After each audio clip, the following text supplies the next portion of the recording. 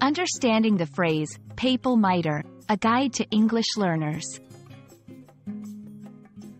Hello, everyone. Today, we're going to explore an interesting phrase in the English language, papal mitre.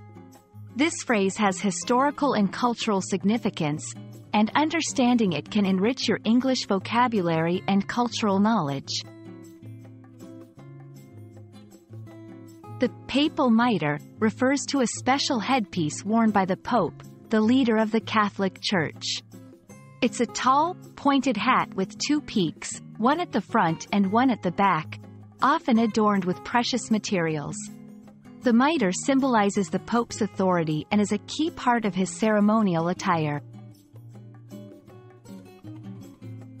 Historically, the mitre has been used since ancient times, evolving from a simple headband to the ornate design we see today.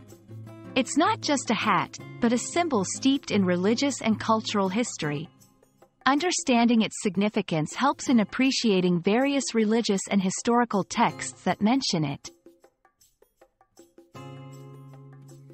In English, the phrase, papal mitre, is often used in contexts discussing religion, history, or art.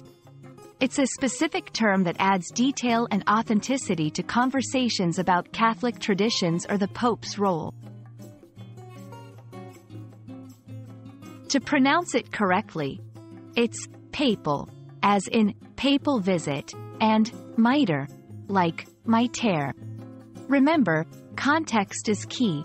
This phrase is formal and specific, so it's used in more serious or academic discussions rather than casual conversation.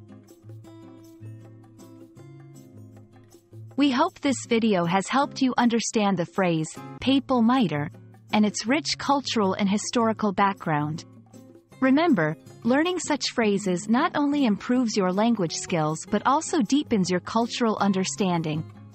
Happy learning, and see you in the next video.